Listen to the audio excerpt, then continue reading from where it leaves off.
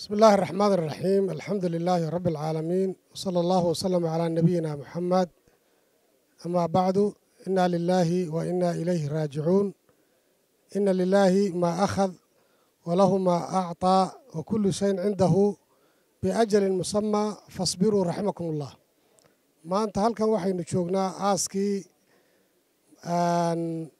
cumar maxamed nimcaale oo ka mid ahaa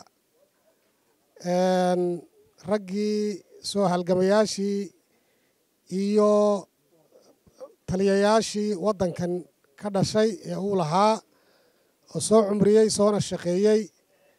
Marka ugu horreysa waynu u ducaynaynaa waxaanu leenahay ilaahay subxaanahu wa tacaalaa dembigiisa ha dhaafo.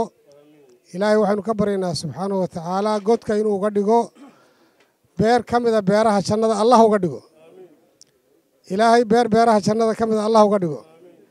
Ilaahay waxaan ka baryaynaa qaraabadii iyo qoyskii iyo qarankii uu ka baxayna. Ilaahay sabir iyo iimaan quluubtooda allah ku deeqsiiyo.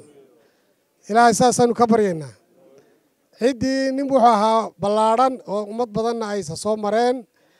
Daduu u taliyey iyo dad ula dhaqmay iyo dad ay saaxiib ahaayeen.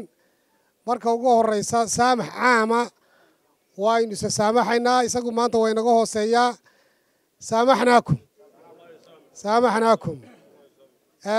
Ilaahay waxaan u baryaynaa subxaana wa tacaala isaga iyo maytaadka kale muslimiinta ee halkan caawa martida ugu yahay. Dhammaantood jaarka iyo kulligood ilaahay ha wada naxariisto.